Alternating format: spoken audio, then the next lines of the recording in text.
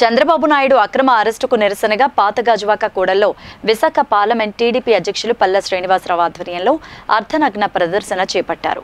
జాతీయ రహదారికి ఆనుకొని వేసిన దీక్షా శిబిరం వద్ద నిరసన చేపట్టారు.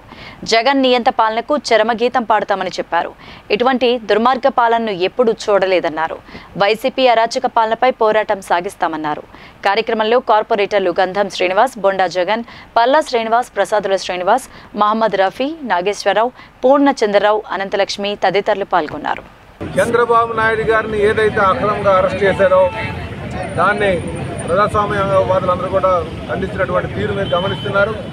ఈరోజు తెలుగుదేశం పార్టీ నాయకులు కొంతమంది పార్టీ సభ్యులు అలాగే పౌరులు కూడా వచ్చి ఈరోజు బాబు గారు మద్దతుగా అగ్న అర్ధనగ్నం ప్రదర్శన చేయడం జరిగింది.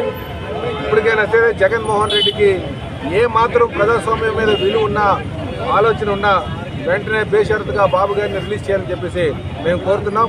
ఈరోజు పౌర సంఘం కూడా ఆలోచించాల్సినటువంటి అవసరం ఉంది. ఎందుకంటే ప్రతిపక్ష నేతలను అరెస్ట్ చేయడం అంటే వారి యొక్క గొంతుకు నొక్కడం. ప్రతిపక్ష నేతల యొక్క గొంతుకు నొక్కడం అంటే ప్రజాస్వామ్యాన్ని కూని చేయడం. ఈరోజు ఎవరైనా తప్పు చేస్తే అరెస్ట్ చేయడంలో తప్పేం లేదు కానీ ఎక్కడైనా అరెస్ట్ చేసేవాటి తీరు ఉంది. దాన్నే రూల్ ఆఫ్ లా అంటాం. ఆ రూల్ ఆఫ్ లాని దొంగలోకి తొక్కి ఆయన ఇష్టానుసారంగా వ్యవస్థల్ని మలుచుకొని ఈరోజు బాబు గారిని దారుణంగా అర్ధరాత్రులుగా అపరాధులు అని చెప్పకుండా అరెస్ట్ చేశారు. ఈ తీరుని మేము ఖండిస్తున్నాం. ఎవరికైనా సరే ఒక ఈ ప్రజాస్వామ్యంలో ఎవరైనా తప్పు చేస్తే వారికి ఒక పద్ధతి ఉంది.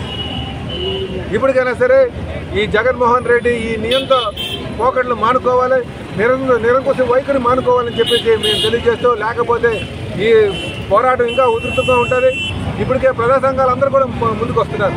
ప్రతిపక్ష నేతలు అందరూ కూడా ఒక తాటి మీదకి వస్తున్నారు.